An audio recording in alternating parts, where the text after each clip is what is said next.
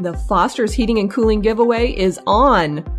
Every year, Foster's gives away two new high efficiency furnaces or central air units to two lucky Linn County residents. This year, one of them could be you. To enter the heating and cooling giveaway, simply click the Enter Now button found on the giveaway page of the Foster's website. Complete the Foster's marketing survey, and voila! You're automatically entered in the drawing. It's just that easy.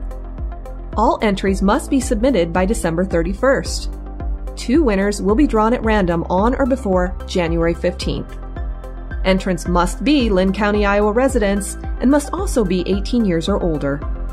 Only one entry, just one, per person is allowed per year. However, if you're a Foster's customer, you may earn an additional entry by leaving a review about your experience with Foster's on the Angie's List website. You can find a link for that on the Foster's website as well. Good luck to you, and thank you for allowing us to protect the comfort and safety of your family. Anytime, every day.